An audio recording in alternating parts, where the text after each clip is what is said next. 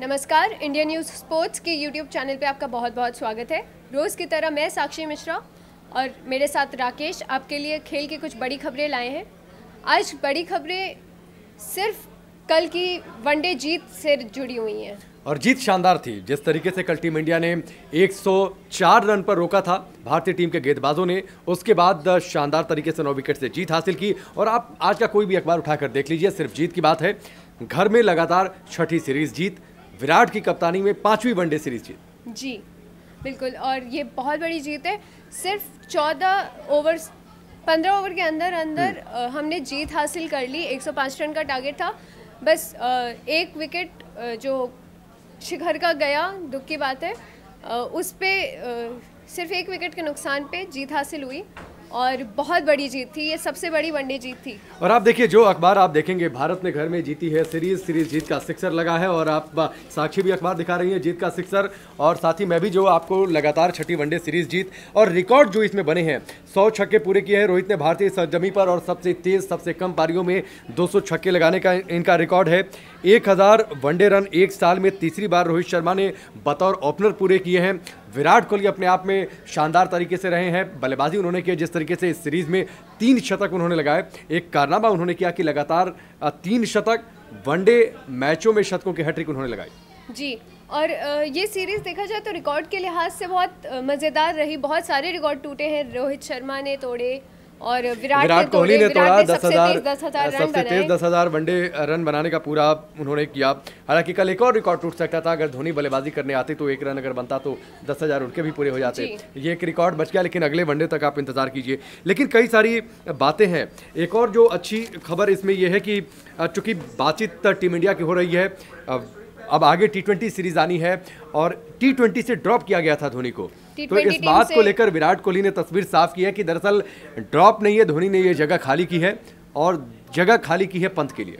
जी अ, क्योंकि अब धोनी का रिटायरमेंट ये विराट ने क्लियर कर दिया है कि धोनी अभी रिटायरमेंट नहीं ले रहे हैं। पर क्योंकि समय करीब आ रहा है तो वो पंत को तैयार करना चाहते हैं इसलिए उन्होंने अपनी जगह पंत के लिए टी विराट कोहली से दरअसल साक्षी ये सवाल किया गया था धोनी को लेकर क्योंकि टी ट्वेंटी टीम का हिस्सा नहीं तो क्या धोनी ड्रॉप हुए हैं या फिर संन्यास लेने का उनका प्लान है? क्योंकि आपको याद होगा कि टेस्ट से भी उन्होंने इसी तरीके से अचानक अलविदा कहा था। तो क्या ये एग्जिट प्लान तो नहीं? तो विराट कोहली ने साफ़ तौर पर कह दिया कि कोई एग्जिट प्लान नहीं धोनी अभी क्रिकेट खेल रहे हैं उनमें काफ़ी क्रिकेट बाकी है क्रिकेट खेलेंगे। लेकिन चूँकि जैसा साक्षी ने कहा कि वो एक जगह तैयार करना चाहते हैं पंत को तैयार करना चाहते हैं भविष्य की चुनौतियों के लिए। इसलिए वो चाहते हैं कि टी ट्वेंटी में ज़्यादा से ज़्यादा मौके मिले पंत को।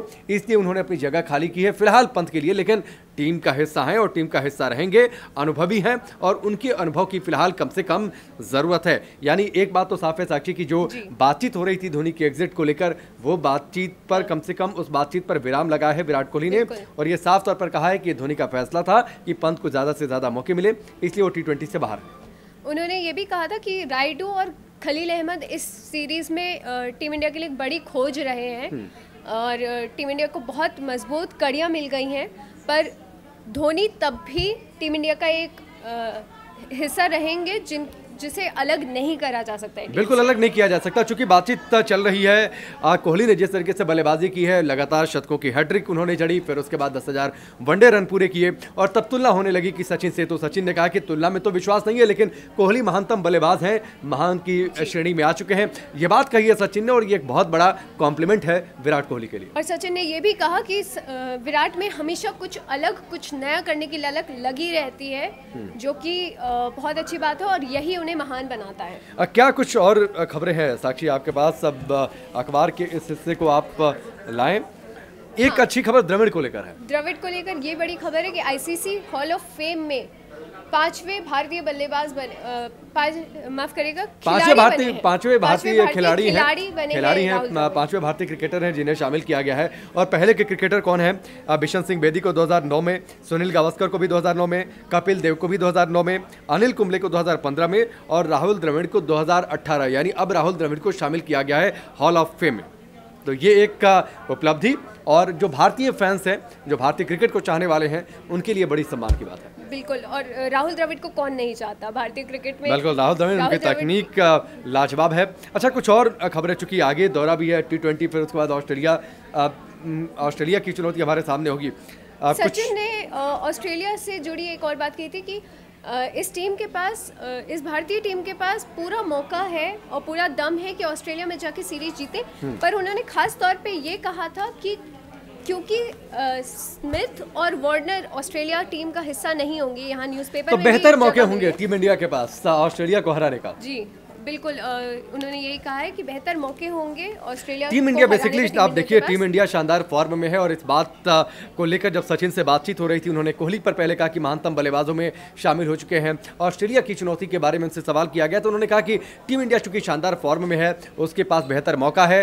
ऑस्ट्रेलिया को हराने का और चूँकि स्मिथ और वार्नर जैसे बड़े खिलाड़ी ऑस्ट्रेलिया की टीम में नहीं होंगे तो ऑस्ट्रेलिया मेंटली प्रेशर में होगी और इस प्रेशर में उसे हराना पहले की तुलना में ज़्यादा आसान होगा। जी और आज के लिए बस इतना ही।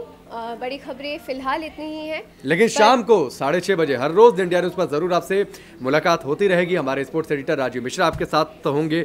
क्रिकेट की पूरी एनालिसिस के साथ, आगे की चुनौतियों के साथ, उनके साथ हमारे क्रिकेट एक्सपर्ट्स होंगे। लेकिन बाकी भी अपडेट के लिए आप इंडिया न्यूज़ स्पोर्ट्स के यूट्यूब चैनल पर ज़रूर आते रहिए।